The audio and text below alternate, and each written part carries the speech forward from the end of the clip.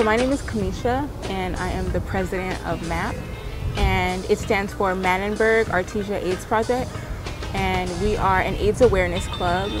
We do different events, we volunteer throughout our community and we do it with the help of our sister school in South Africa.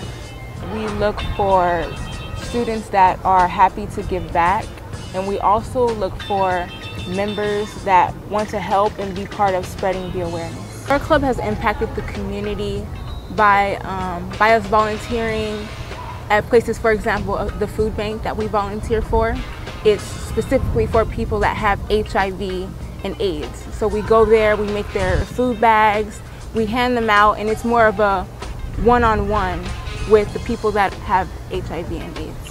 Um, we'll be volunteering at the AIDS Walk on October 23rd. We'll be handing out food, we'll be handing out drinks, we'll be cheering people on, and we'll just be there supporting the cause. We also have World AIDS Day coming up, so we'll be planning something for that event. This club is special to me mainly because as a club we're out and we're volunteering, we're out and we're attending these activities that allow us to spread awareness, that allow us to make a difference in other people's lives.